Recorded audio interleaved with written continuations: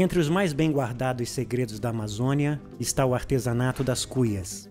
Ornamentadas com pinturas, incisões e pirogravuras, as cuias resultam de um ofício indígena antigo no Brasil, praticado por diversos grupos em toda a extensão do rio Amazonas.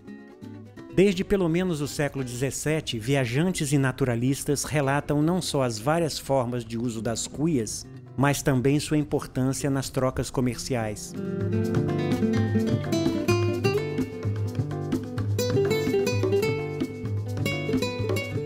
Herança deixada pelos índios da aldeia Gurupatuba, as cuias pintadas são até hoje produzidas na região do Baixo Amazonas, sobretudo nos municípios paraenses de Santarém e Monte Alegre. Nesta última cidade, os habitantes são chamados de pintacuias. A nossa cultura é uma cultura indígena. Na verdade, a nossa região, ela pouco ela desenvolveu, ela começou a desenvolver quando esse, esse nome Pintacuia veio a funcionar de uma forma mais forte.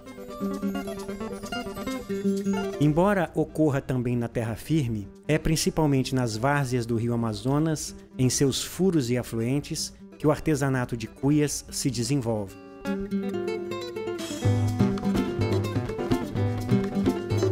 Seja na seca ou na enchente, no verão ou no inverno, o artesanato das cuias é uma importante fonte de renda para as famílias ribeirinhas, principalmente quando os peixes escasseiam e as pequenas criações perecem. Boas para usar, as cuias estão presentes na maioria das casas ribeirinhas, nos mais variados formatos e afazeres.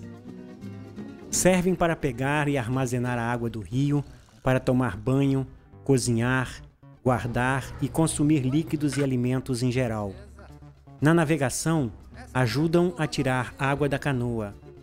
Boas ainda para ver, cumprem finalidade decorativa nas paredes e prateleiras das casas e são usadas até como parte do vestuário feminino.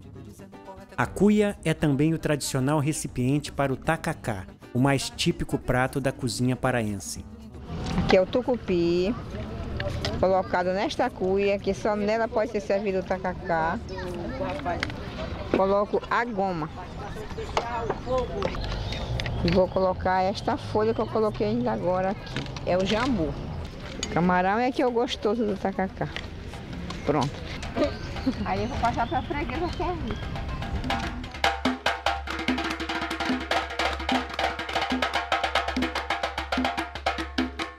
Lá se fazem as cuias mais galantes de beber.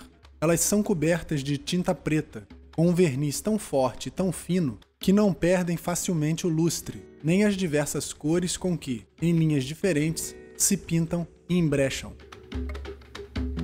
Entre 1783 e 1792, o naturalista Alexandre Rodrigues Ferreira empreendeu grande expedição de desbravamento e reconhecimento da Amazônia brasileira. Junto com desenhistas e um jardineiro botânico, registrou a natureza e a cultura de sua gente.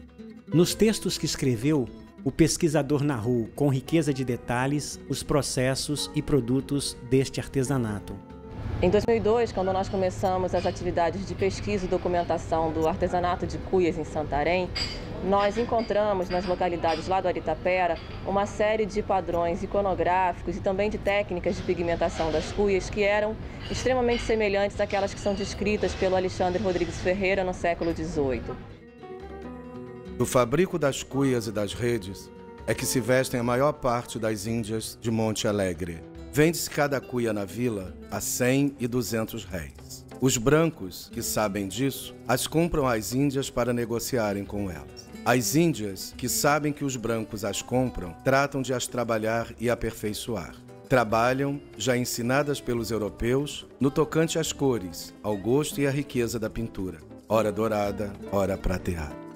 Segundo relatos de Ferreira, naquela época as índias produziam de 5 a 6 mil cuias por ano.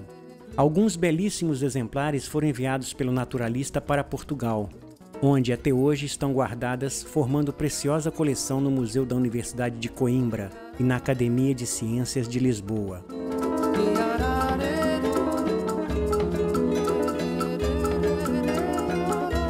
As comunidades da Várzea de Santarém são hoje as grandes referências em produção de cuias na região do Baixo Amazonas.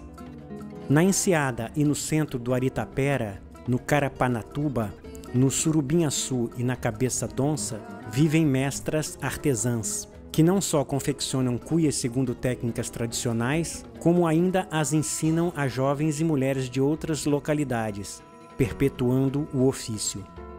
O artesanato das cuias é um trabalho longo e árduo. Uma cuia leva até oito dias para ficar pronta. Este é um ofício essencialmente feminino, em que os homens só tomam parte eventualmente. É realizado sobretudo no núcleo doméstico, onde as mulheres, enquanto contam histórias e comentam a vida diária, se dividem nas diversas etapas do longo processo de trabalho. Avós, mães, tias, primas e vizinhas ensinam a arte às mais moças, observando sempre vocações individuais mais acentuadas para uma ou outra atividade, do corte até a decoração da cuia.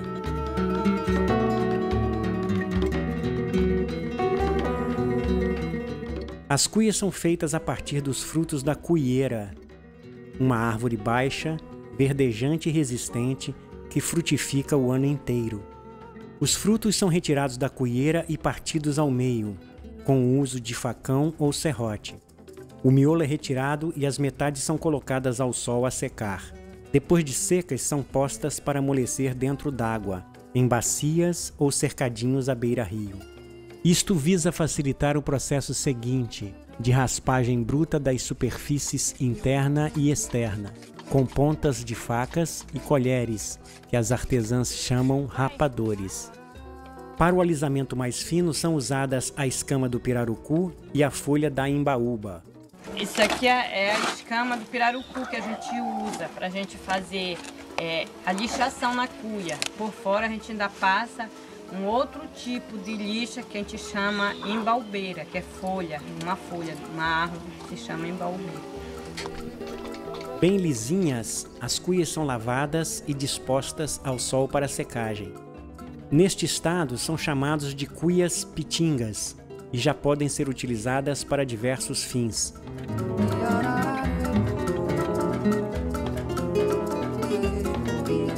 O tingimento das cuias é realizado com o kumatê ou achuá, pigmento natural extraído da casca da árvore de mesmo nome, que só é encontrada na terra firme. Para buscá-la são necessários alguns dias de viagem, geralmente empreendida pelos homens da comunidade. Mas as artesãs podem comprar a casca do cumatê já em feixes, que são vendidos por marreteiros. E aí a gente coloca de molho para a gente poder bater e tirar a tinta para poder passar na cuia. Para extrair a tinta, a casca do cumatê, que é rica em tanino, é colocada de molho por 3 a 5 dias em água aquecida ao sol.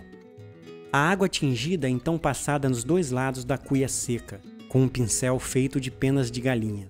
A operação é repetida até que as peças adquiram coloração vermelha bem escura.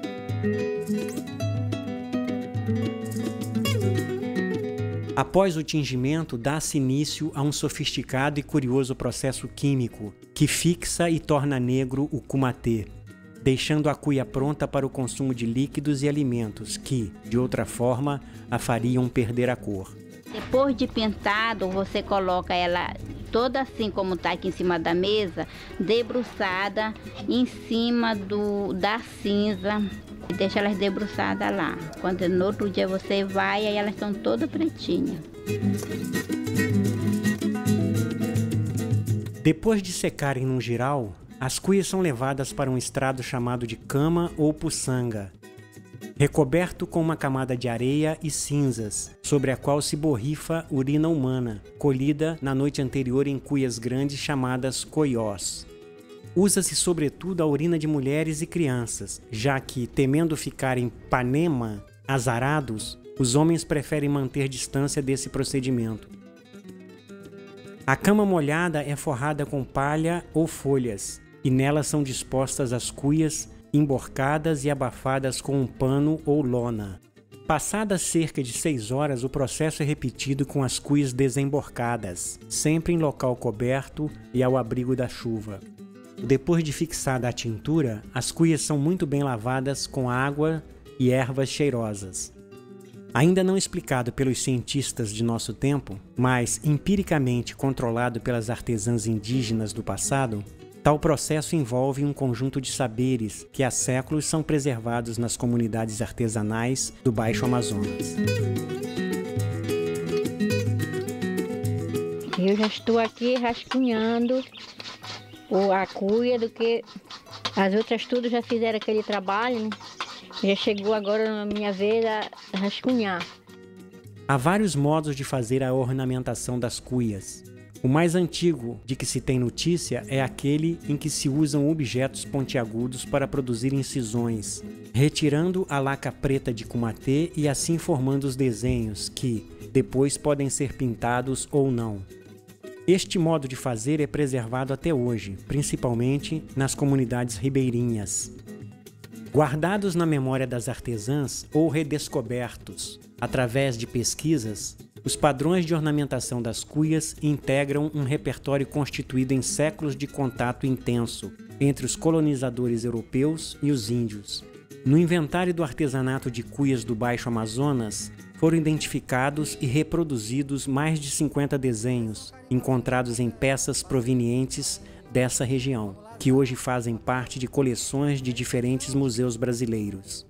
No repertório inventariado destacam-se anagramas, pássaros, frutas, medalhões, brasões, molduras e motivos florais de estilo rococó, tal como Alexandre Ferreira registrou no século XVIII.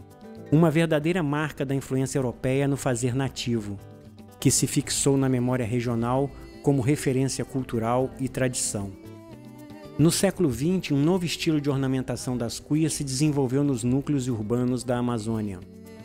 Substituindo as incisões por traços feitos com tintas industrializadas, surgiram paisagens e outras pinturas de temas e motivos variados.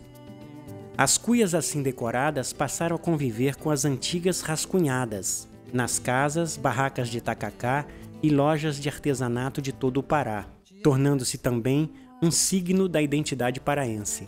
Um artesanato que há séculos tem aliado técnicas tradicionais de pigmentação a repertórios iconográficos em permanente transformação.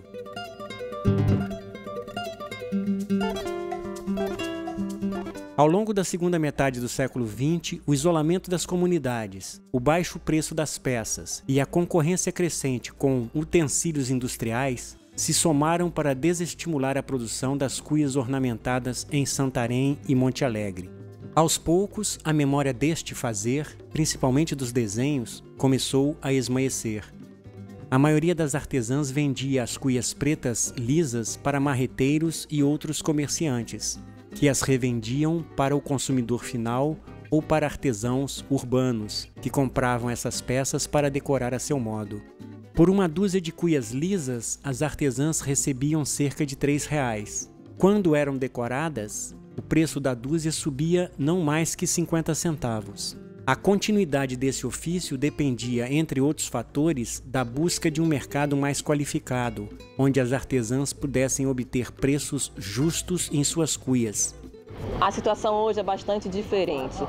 Cerca de 30 dessas mulheres se organizaram na Associação das Artesãs Ribeirinhas de Santarém e hoje, por meio dessa entidade, elas têm mantido um contato direto com o consumidor final do seu artesanato. Os três reais que elas recebiam pela dúzia de cuias antigamente representam hoje o preço mínimo de uma unidade de cuia, ou seja, uma peça pequena hoje vale três reais. Articuladas em torno de seu ofício, descobrem-se mais fortes para atuar na sociedade.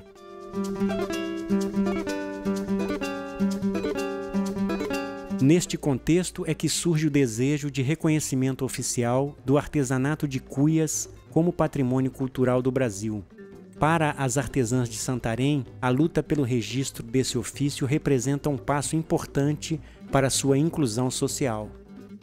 Para artesãs de outras localidades, ele traz, sobretudo, a perspectiva de proteção e apoio a seus saberes e fazeres. Em primeiro lugar, esse é um ofício que permanece praticamente inalterado na região do Baixo Amazonas desde pelo menos o século XVIII. É um ofício bastante tradicional. Em segundo lugar, o que está em jogo é um conjunto de conhecimentos tradicionais que não tem recebido qualquer tipo de proteção suportes privilegiados para a inscrição de ideias que ganham corpo em incisões ou pinturas, as cuias do Baixo Amazonas contam a seu modo uma história do Brasil. Na combinação de técnicas indígenas de pigmentação com padrões iconográficos de diferentes origens étnicas e culturais, esse artesanato envolve modos de fazer e formas de expressão singulares que se constituíram desde a colonização da Amazônia até os dias atuais. Registrar esse ofício como patrimônio cultural brasileiro significa não só reconhecer a necessidade de políticas públicas que visem a sua promoção, mas que busquem também a inclusão social de grupos historicamente negligenciados nos processos de desenvolvimento e distribuição de riquezas neste país. Então a gente precisa que seja registrado esse é um patrimônio nosso, uma cultura nossa, do Pará, da Amazônia e do Brasil. I